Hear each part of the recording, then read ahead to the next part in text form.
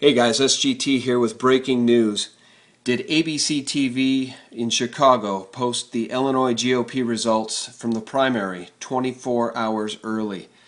It's now 1:24 a.m. Central Standard Time and I posted this at 11:30 Central Standard Time at SGT Report, so go there to see the uh, the full screen shots yourself in person.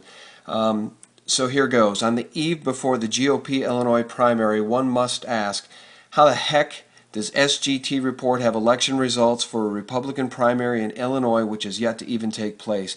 Now, we've long argued that the Ron Paul fix is in, but this, it leaves me speechless.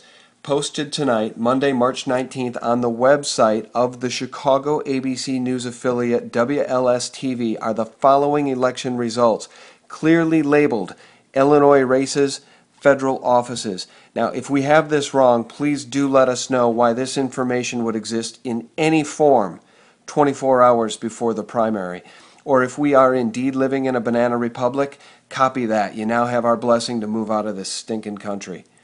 Now, the time stamped screenshot from my computer on Monday, March 19th, 2012 is from 11:29 p.m. Central Standard Time. Okay? And here is what was on WLS TV's website, the local Chicago ABC News affiliate website. And as you can see, apparently 24 hours before the primary even occurs, Rick Santorum won with 987,453 votes, 32% of the overall vote. Romney placed second with, with 919,993 votes. Gingrich a close third. And there's Ron Paul Poor, abused Ron Paul, no wonder he never wins. With only 95,106 votes, 3% of the total vote given to Ron Paul before the vote has even occurred, before the primary has even occurred.